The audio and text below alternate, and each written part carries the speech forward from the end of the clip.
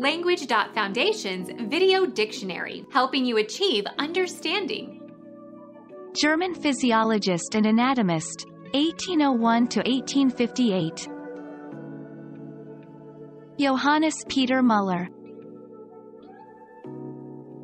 Swiss chemist who synthesized DDT and discovered its use as an insecticide, 1899 to 1965. Paul Hermann Müller Swiss physicist who studied superconductivity, born in 1927. Karl Alex Müller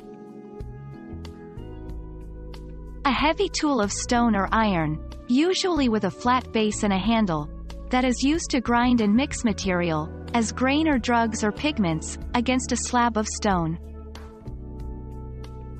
Pestle, pounder. A reflective thinker characterized by quiet contemplation.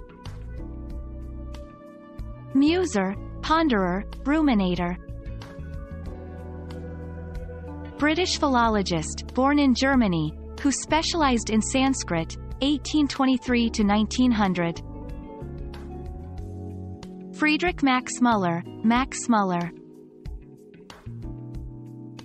United States geneticist who studied the effects of X-rays on genes, 1890 to 1967.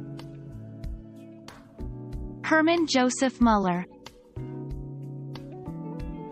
German mathematician and astronomer, 1436 to 1476. Johann Müller, Regiomontanus.